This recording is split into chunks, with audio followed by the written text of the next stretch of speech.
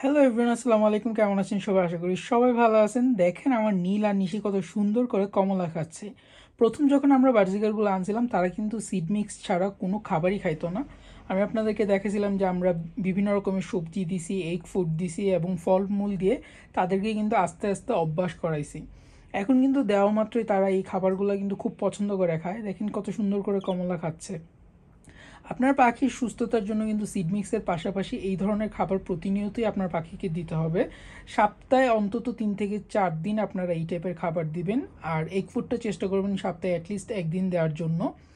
আর সবজি বা শাক সবজি যেগুলো আছে, ওগুলো চেষ্টা করবেন যে অল্টারনেটিভ ডেতে দেওয়ার জন্য। তাহলে কিন্তু পাখির প্রয়োজনে যে মিনারেলসগুলো দরকার, তারা কিন্তু সবগুলো পেয়ে যাবে। ভিটামিন মিনারেলস যা যা দরকার একটা পাখির।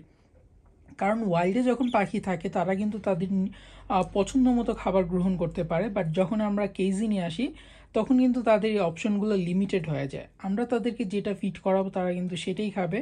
সো আমাদেরকে তাদের ভালো কেয়ার করার জন্য জানতে হবে যে তাদের কোন জিনিসটা প্রয়োজন এবং তাদেরকে অ্যাক্টিভ এবং সুস্থ রাখার জন্য কিন্তু ভ্যারাইটি খাবার আপনাদেরকে অবশ্যই তাদেরকে দিতে হবে।